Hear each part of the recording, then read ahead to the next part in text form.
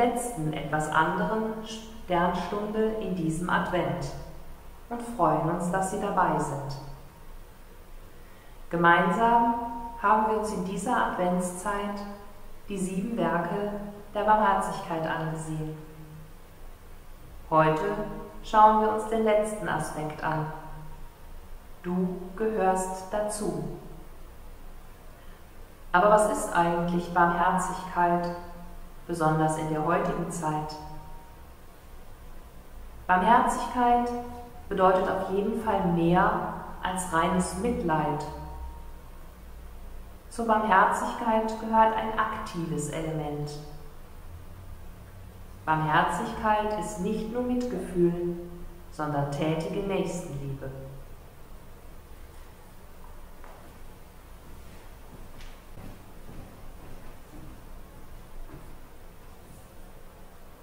Einem Menschen sagen, du gehörst dazu. Was unsere Gesellschaft oft kalt und unbarmherzig macht, ist die Tatsache, dass in ihr Menschen an den Rand gedrückt werden. Arbeitslose, Alleinlebende, psychisch Kranke, Ausländer und viele mehr.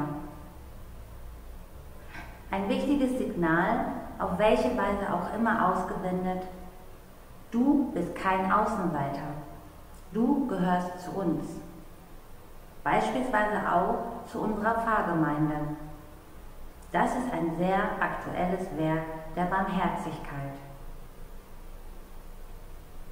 Aber gerade in der heutigen Zeit fühlen sich viele an den Rand gestellt, ausgegrenzt und durch den gesellschaftlichen Rost gefallen.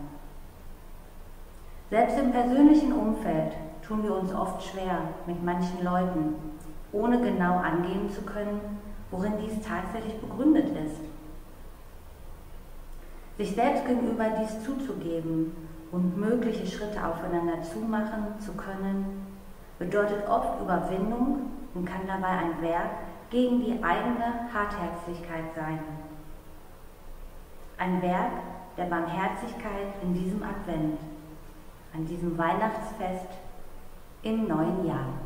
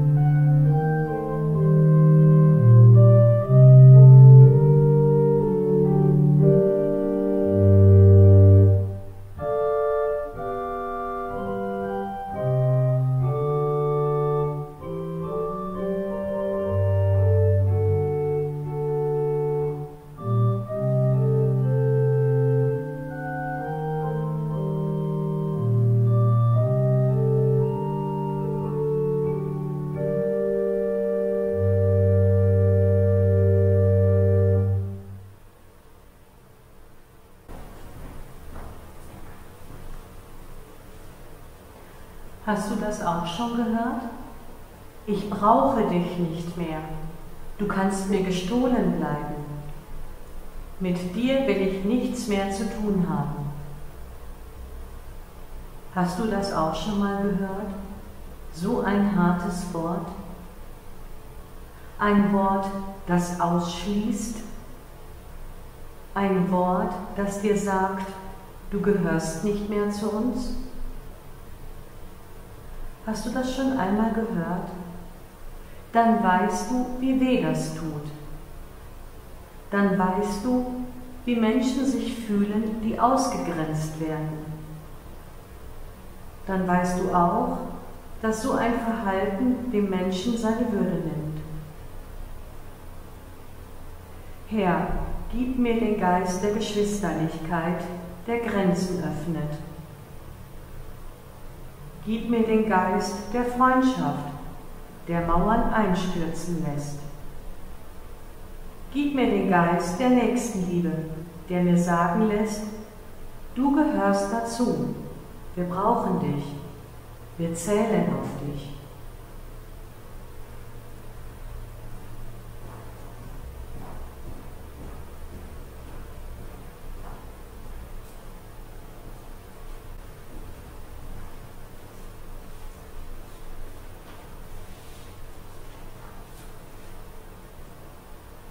In einem Dorf wohnten nur sehr arme Menschen. Sie hatten oft nicht das Nötigste zum Leben. Als wieder einmal der Advent kam, klagte ein Mann über die schlimme Kälte. Alle wussten, dieser Mann hatte schon lange keine Jacke mehr besessen. Doch niemand war imstande, ihm eine solche zu schenken. Sie waren zu arm. Doch der alte Mann war ihnen wichtig. Er gehörte zu ihrer Dorfgemeinschaft und war immer auch für die anderen da. Da hatte eine Frau im Ort eine Idee. Jeder Dorfbewohner sollte ihr einen Faden bringen so dass sie dem alten Mann zu Weihnachten eine Jacke stricken könne. Damit sie aber nicht allzu viele verschiedene Farben zusammenbekomme, möge jeder seinen Faden in rote Betesaft trinken. Das war das Hauptnahrungsmittel des Dorfes. Alle brachten einen Faden zu der Frau und machten mit und diese fing gleich an zu stricken. Und an Weihnachten wärmte den alten Mann eine Jacke. Die Dorfgemeinschaft hatte es geschafft, denn jeder wusste, nur gemeinsam konnten sie etwas bewirken und jeder Einzelne gehörte dazu. Jeder Einzelne von ihnen war wichtig.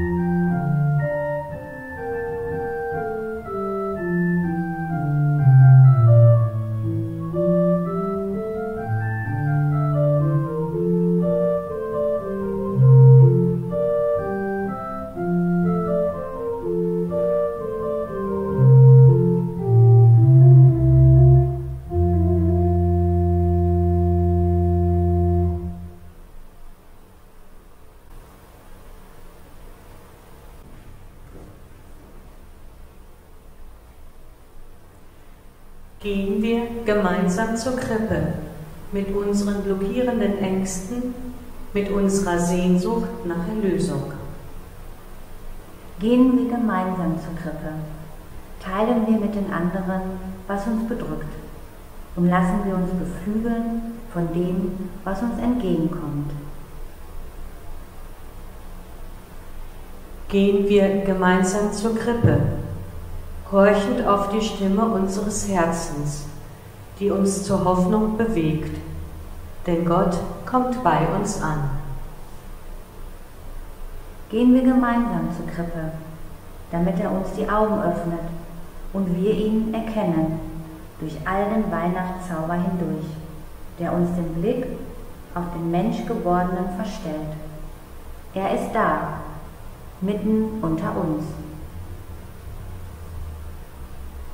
Gehen wir gemeinsam zur Krippe, damit wir das Geheimnis des Weihnachtsfestes entdecken.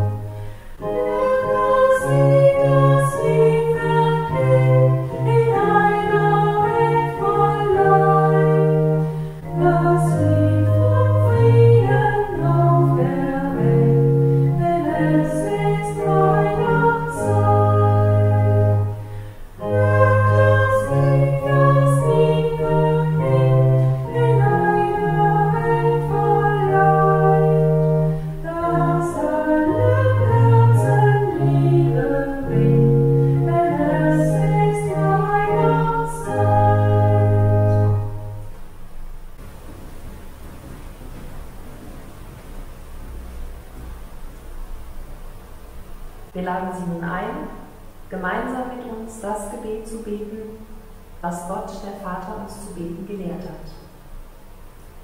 Vater unser im Himmel, geheiligt werde dein Name, dein Reich komme, dein Wille geschehe, wie im Himmel, so auf Erden. Unser tägliches Brot gib uns heute und vergib uns unsere Schuld, wie auch wir vergeben unseren Schuldigern. Und führe uns nicht in Versuchung, sondern erlöse uns von dem Bösen. Denn dein ist das Reich und die Kraft und die Herrlichkeit in Ewigkeit. Amen.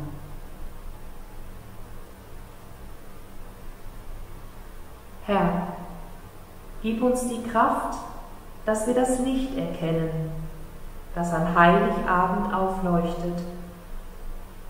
Gib uns, dass wir es ergreifen und mache uns zum Teil dieses Lichtes. Lass es in uns leuchten und mache unsere Herzen warm. Erfülle unsere Herzen mit Freude dass unser Weg nun heller wird. Erfülle uns mit Dank, dass du nun da bist und mit uns gehen willst.